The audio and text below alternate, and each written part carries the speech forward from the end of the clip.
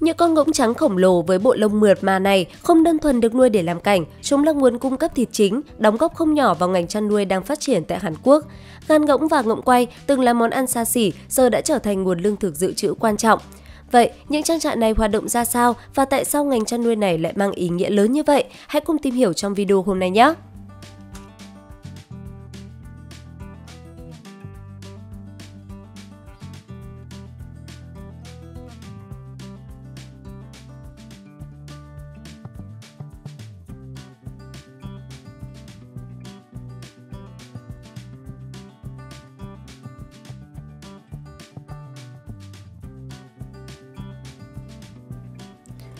Những con ngỗng luôn bị coi là kẻ ồn ào, nhất là trong mùa sinh sản. Thống kê vào năm 2021, sản lượng ngỗng trên toàn thế giới đạt hơn 4 triệu tấn, trong đó Trung Quốc chiếm tới 98,76%.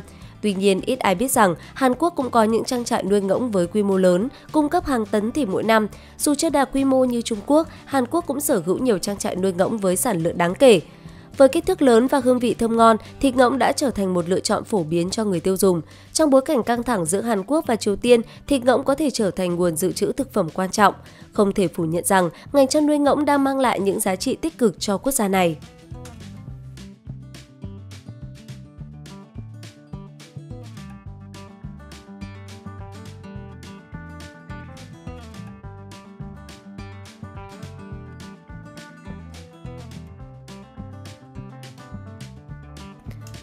Thường thì chuồng trại nuôi ngỗng sẽ được xây dựng bên cạnh các ao, hồ nước để đảm bảo môi trường sống phù hợp nhất. Chuồng nuôi ngỗng không quá phức tạp, nông dân chỉ cần xây dựng hệ thống lưới bao xung quanh khu vực chăn nuôi.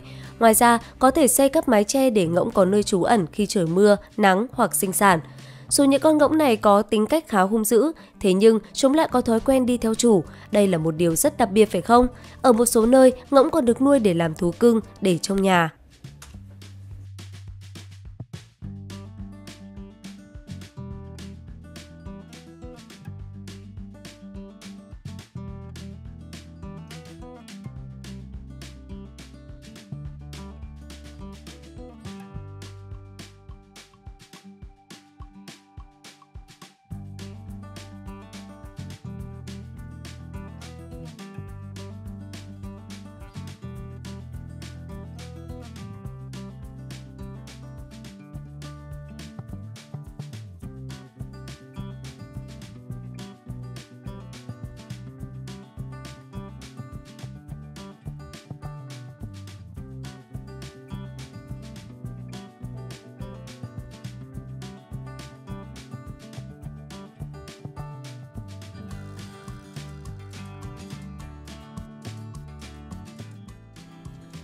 Ngỗng có thể có tuổi thọ lên đến 50 năm và sinh sản trong khoảng từ 5 năm đến 16 năm.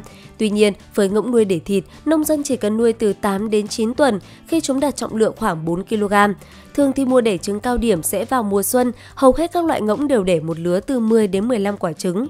Ngỗng có thể sinh sản tự nhiên hoặc là ấp trứng nhân tạo với thời gian ấp khoảng 30 ngày. Ngỗng thích ăn thức ăn thô và thích sống ở những nơi có nước. Việc nuôi ngỗng đòi hỏi không gian rộng rãi với những hàng rào bao quanh đồng cỏ và gần nguồn nước. Một số trang trại tận dụng vườn cây để nuôi ngỗng, vừa đảm bảo bóng mát, vừa tạo không gian thông thoáng.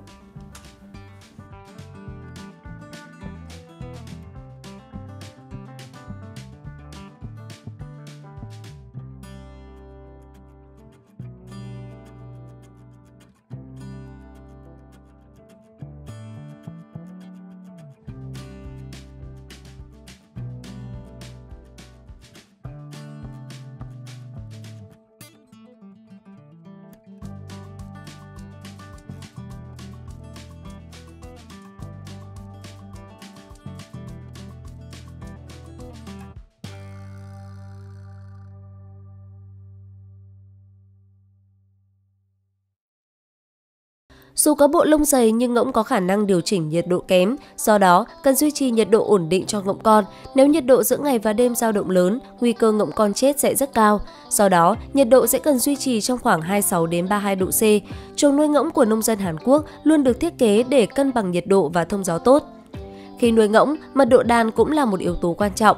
Nếu mật độ quá dày thì chắc chắn rồi, những con ngỗng con sẽ không có đủ oxy để thở. Do đó, chuồng nuôi rộng rãi và mật độ phù hợp sẽ giảm nguy cơ ngỗng chết. Bên cạnh đó, nếu đàn quá đông, nguy cơ ngỗng con chết đói là hoàn toàn có thể xảy ra.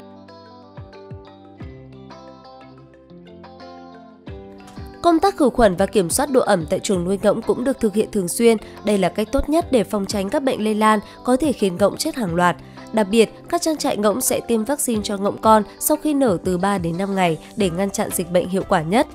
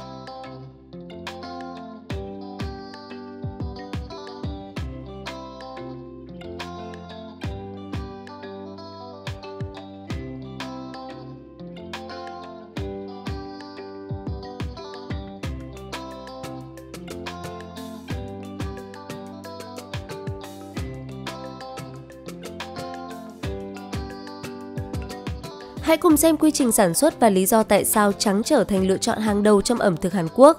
Thịt ngỗng thậm chí còn được đánh giá cao hơn các loại thịt gà hay thịt vịt. Người dân Hàn Quốc thường sử dụng thịt ngỗng để chế biến một số món ăn truyền thống. Không chỉ đáp ứng nhu cầu tiêu thụ trong nước, các sản phẩm ngỗng tại Hàn Quốc còn được xuất khẩu sang các thị trường như Việt Nam, Hồng Kông và Singapore. Ngoài thịt, trứng ngỗng cũng được đánh giá cao về giá trị dinh dưỡng và hương vị. Bên cạnh việc sản xuất thịt ngỗng, những trang trại này còn có thêm thu nhập từ việc lấy lông ngỗng.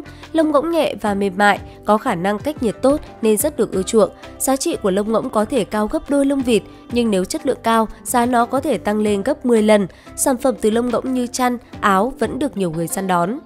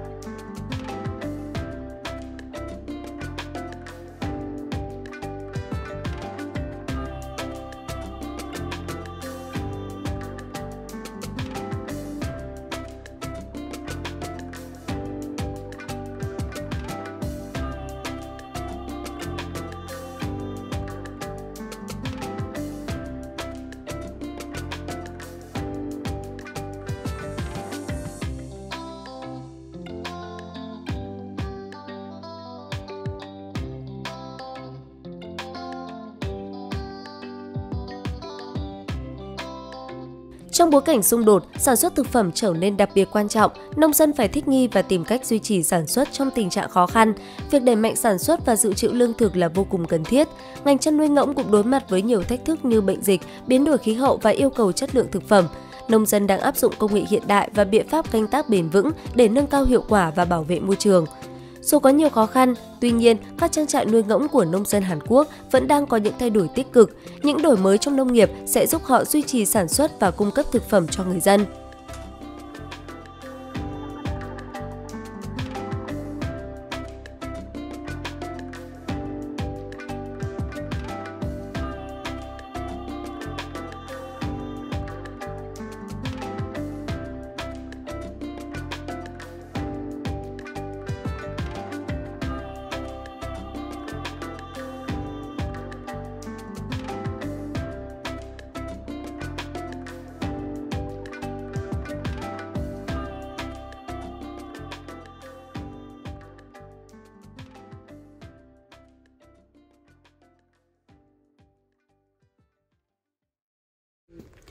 Bạn có biết rằng tỏi từng bị xa lánh bởi các nền văn hóa Anh và Mỹ do mùi hăng nồng của nó tồn tại ngay cả sau bữa ăn.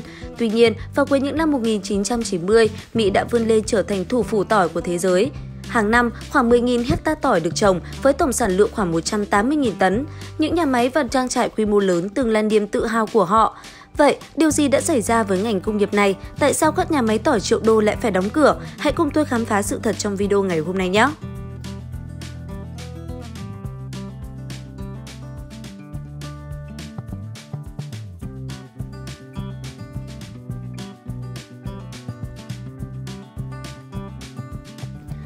Câu chuyện về tỏi ở Mỹ bắt đầu từ đầu những năm 1890 khi những người nhập cư từ Nam Âu đến thung lũng Santa Clara, California.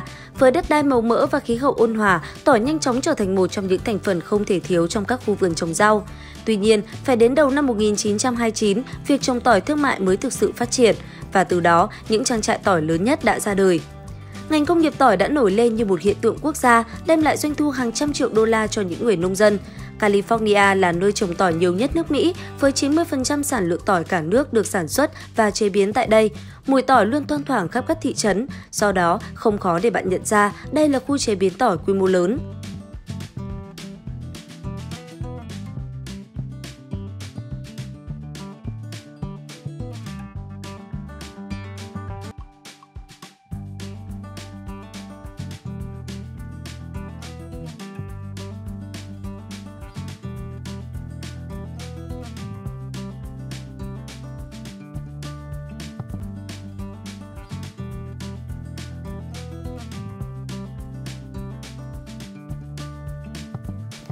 Tại Mỹ, tỏi thường được trồng vào mùa thu nên các luống đất cao đã được cấy xới và chuẩn bị kỹ lưỡng. Thời điểm trồng là yếu tố vô cùng quan trọng nên trồng sớm để mặt đất không bị đóng băng trước khi hệ thống rễ phát triển, nhưng cũng phải đủ muộn để chúng không nhô lên khỏi mặt đất.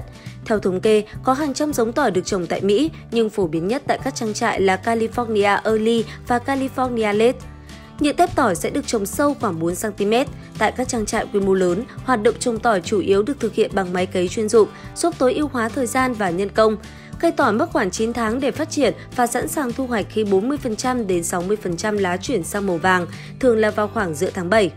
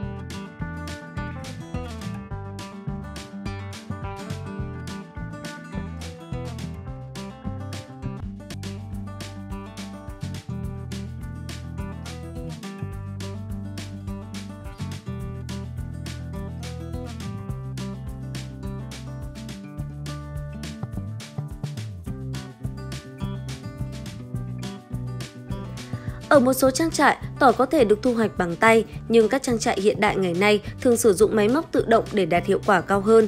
Từ cánh đồng, tỏi được làm sạch và vận chuyển vào nhà máy chế biến, nơi diễn ra các công đoạn phân loại và đóng gói. Thông thường, tỏi được bán theo kg, theo dây hoặc theo từng củ.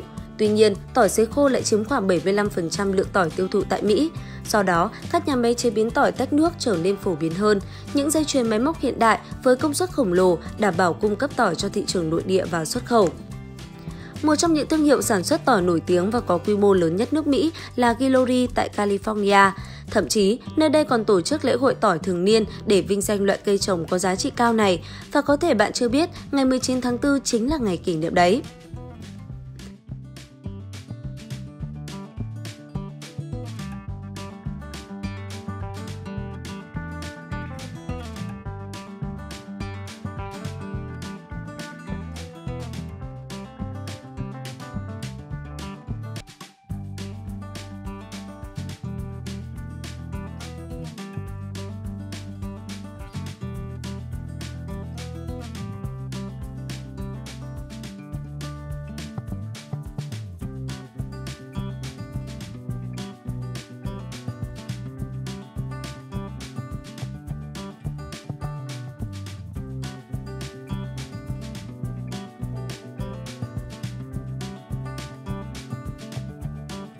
Dù từng có thời kỳ đỉnh cao và được mệnh danh là thủ phủ tỏi của thế giới, ngành công nghiệp tỏi Mỹ ngày nay không còn giữ được vị thế đó.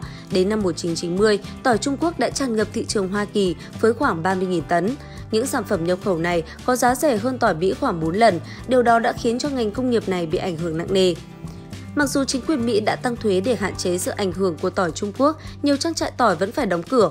Một nửa số nhà máy đóng gói tỏi lớn nhất của California đã biến mất trong thập kỷ qua. Chỉ trong vài tháng, lượng tỏi giá rẻ nhập khẩu vào Mỹ gần bằng sản lượng hàng năm của Christopher Renz, nhà máy đóng gói tỏi lớn nhất cả nước. Ngoài ra, sự thiếu hụt về nhân công cũng là nguyên nhân khiến cho các trang trại trồng tỏi phải thu hẹp quy mô. Do đó, cách giải quyết duy nhất của họ cho vấn đề này là tăng lương cho người lao động. Điều này cũng dẫn đến gia tăng chi phí nhân công, ảnh hưởng đến lợi nhuận và các quyết định phát triển trang trại. Tất cả những yếu tố này đã đẩy các trang trại và nhà máy tỏi quy mô lớn tại Mỹ vào tình trạng khó khăn chưa từng có.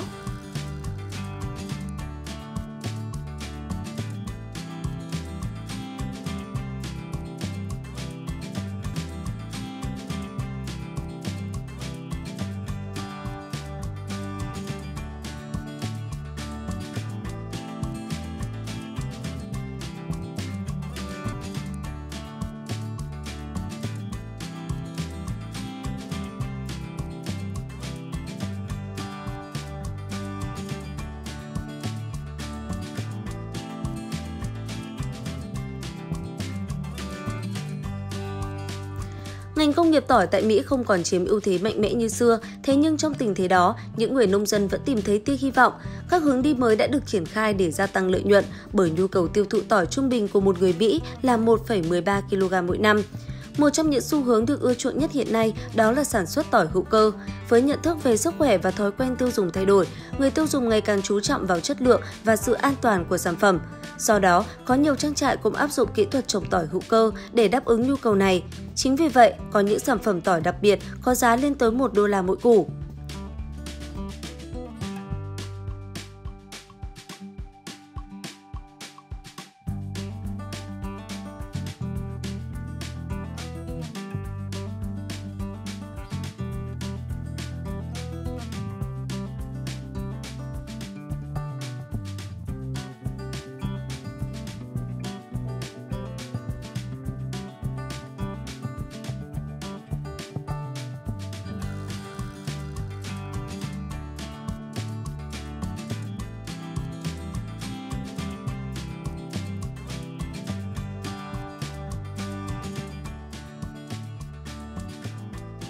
Bên cạnh đó, việc gia tăng các thiết bị máy móc hiện đại, giảm thiểu nhân công cũng là một cách hiệu quả để tăng năng suất và hạn chế chi phí. Các trang trại đang dần hướng đến tập trung vào chất lượng sản phẩm. Theo dự đoán, sản lượng tỏi tại nước Mỹ sẽ còn tiếp tục tăng trong những năm tới. Đó là tín hiệu tích cực giúp các nhà máy tỏi phục hồi và phát triển trong tương lai. Bạn có nghĩ ngành sản xuất và chế biến tỏi của nước Mỹ sẽ tìm lại được ánh hào quang? Hãy chia sẻ ý kiến của bạn trong phần bình luận nhé!